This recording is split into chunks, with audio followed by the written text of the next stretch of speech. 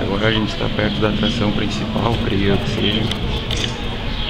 Eu nunca tinha visto isso, é uma coisa fora desse padrão. A gente está uns 7, 8, 6, 7 metros abaixo da, da, da linha d'água. E o pessoal vem aqui e fica próximo ao, ao espelho para ver os peixes passando. Tem cada peixe muito estranho. Tem os peixes de cardume mais para cima. Tem os peixes meio ornamentais, mas tudo de água salgada, né? obviamente.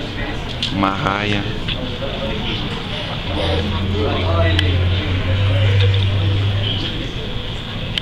Lá em cima tem um bicho muito estranho.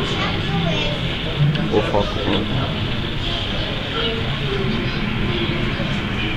não sei se nada de lado o que, que é, mas é feio e estranho.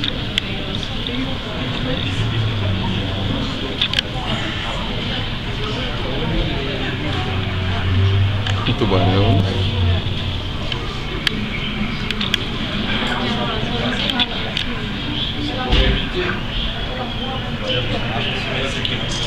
Olha o tamanho dessa raia.